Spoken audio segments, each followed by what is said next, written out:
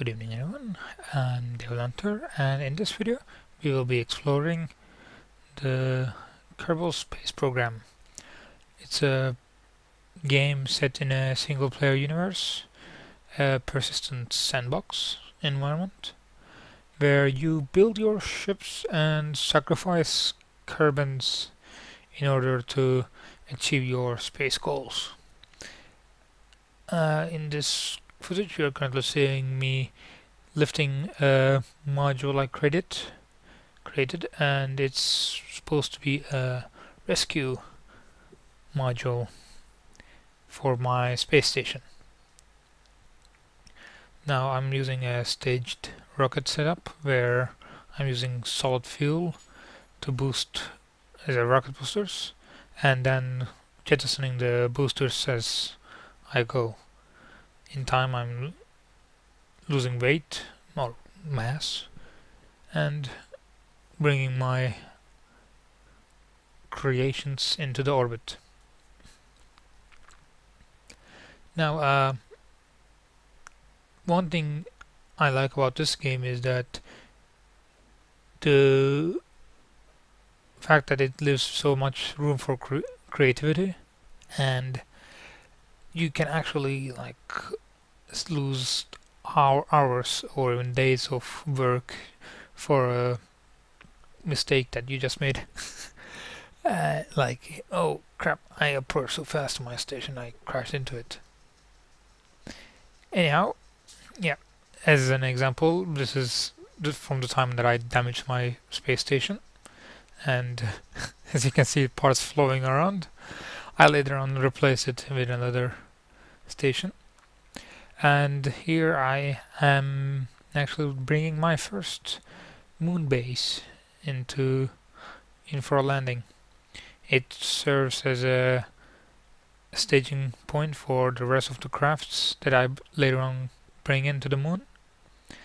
And the game is entirely governed by Newtonian physics I would say game tries to do, achieve that goal, but there are some aspects that are not relatively realistic, but still, it's in the boundaries.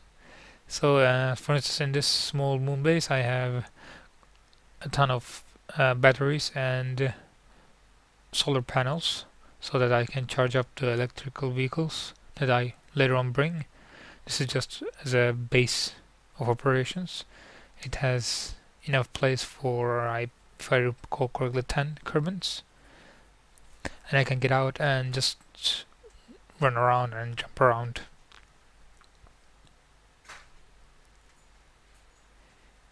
Yeah, and uh, apart from that, and what you're seeing there is my one of my think generation 2 space station and I'm bringing more crew to that station right now uh, some of my crafts are capable of going up into the above the atmosphere to orbit and then coming back down.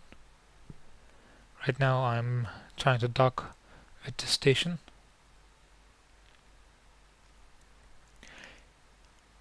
It's always good to have a like dock with the station and attach your ship before you start moving stuff. You can also transfer fuel once you are docked it's taking quite a bit of adjusting. I didn't have my uh, ship design properly done so whenever I made a move I, it kind of flipped the sh ship around also. As you can see I need to be I need more practice with it as far as ship design goes also. And we have a lock. Yeah and I later on changed this station with a newer generation. As games game gets updated I replace the old stations with the new ones. And for the old stations I just send them back through the atmosphere.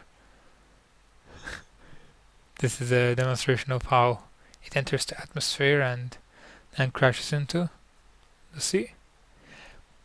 Right now with the newest update actually you can uh, if your Kerbins survive, you can collect them.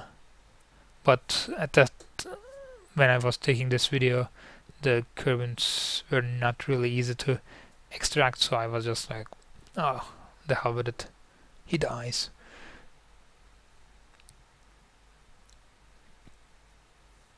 Uh, currently my game style is that basically I build massive stations I mean as far as keeping the game unlaggy